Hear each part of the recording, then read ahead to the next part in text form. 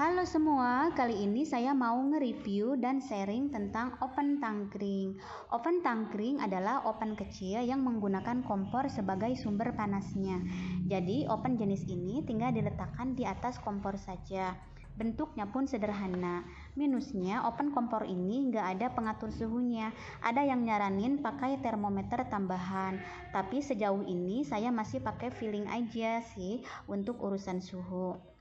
Nah, setelah praktek dengan menggunakan open tangkring ini, ternyata open jenis ini cocok dan bagus untuk pemula seperti saya. Dan saya juga di sini ada beberapa tips sederhana tentang cara memakai open tangkring. Yuk simak aja tips sederhananya. Tonton videonya sampai tamat ya. Terima kasih. Semua, kembali lagi di channel Tristan and Bruder. Kali ini saya mau nge-review atau sharing ya tentang open kompor atau lebih terkenal dengan sebutan open tangkring atau otang. Nah, beberapa waktu yang lalu saya beli open ini di Burma ya saya belinya. Kenapa saya tertarik beli open ini? Karena oh, bahannya lebih tebal ya. Jadi ini bahannya nggak tipis pun jadi yang dipajang di sulayan itu kan banyak ya ditawarkan open kompor atau otang berbagai merek. Tapi saya tertarik ke open ini walaupun harganya memang sedikit lebih mahal ya dari otang-otang lainnya. Kenapa? Karena platnya ini ya platnya lebih tebal. Lebih tebal kan mungkin ya diharapkan bisa lebih kuat ketahanannya. Jadi bisa dipakai uh, selama mungkin ya, selama kita merawatnya dengan baik. Sebenarnya kan open jenis apa pun mau open kompor atau otang, mau open gas, open listrik, semuanya bisa awet selama kita merawatnya dengan baik pula. Jadi kalau kita memakainya asal-asalan ya atau tidak sesuai aturan atau anjuran ya pasti opennya cepat rusak ya mau open semahal apa pun. Yuk kita kenalan dengan open baru saya. Nah ini penampakan dari open kompor atau open tangkring atau otang yang baru saya beli beberapa waktu yang lalu. Dusnya pun masih ada ya ini mereknya Flavor harganya kalau nggak salah 200.000 eh, lebih ya. Memang eh, lebih mahal dari open-open kompor atau otang lainnya ya yang ditawarkan yang dideretkan di swalayan tempat saya beli open ini Oven ini memiliki tiga buah rak, jadi ada tiga tingkat rak di dalamnya, dan raknya bisa dibuka sesuai kebutuhan. Dia bisa muat tiga loyang sekaligus untuk loyang berukuran tipis seperti untuk memanggang cookies dan roti unyil.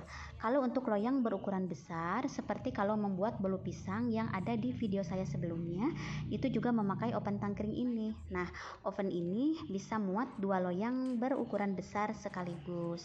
Jadi raknya bisa diatur diatur sesuai kebutuhan ya bisa dibongkar pasang lagi Nah, karena oven ini tidak dilengkapi dengan pengatur suhu, maka kita harus sering-sering mengecek keadaan kue atau bakingan kita. Jangan sampai kue gosong sebelum matang. Jika sebentar saja sudah menguning, segera kecilkan api. Itu pertanda api terlalu panas atau terlalu besar. Pastikan juga oven tangkring kita tidak diletakkan dalam keadaan miring, supaya bentuk kue bagus dan matangnya merata. Kadang open tangkring terlalu dekat dengan api kompor sehingga panasnya tidak bisa diatur. Untuk itu kita bisa menggunakan dua buah batu bata yang diletakkan di sisi kanan dan kiri tungku kompor. Batu bata ini akan jadi pijakan open sehingga open tidak terlalu dekat dengan api atau tidak langsung mengenai api. Jangan lupa untuk memutar loyang kue karena open tangkring cenderung matang di satu sisi saja. Putar-putar supaya matangnya merata. Open tangkring juga bisa loh menggunakan api atas, walaupun caranya agak sedikit lebih rumit. Caranya yaitu dengan meletakkan arang dalam keadaan menyala di atas oven. Api bawah boleh tetap menyala atau dimatikan sesuai kebutuhan. Nah, gampang kan? Ternyata oven tangkring juga bisa memakai api atas bawah. gimana sesuai kebutuhan aja ya bunda-bunda nah itu adalah tips sederhana dari saya tentang cara memakai open tangkring semoga tips sederhananya bermanfaat ya dan saya pastikan di sini bahwa open tangkring ini memang bagus dan cocok untuk pemula seperti saya. Nah sekarang yuk kita lihat hasil eksekusi atau hasil praktek dari memanggang kue dengan memakai open tangkring ini.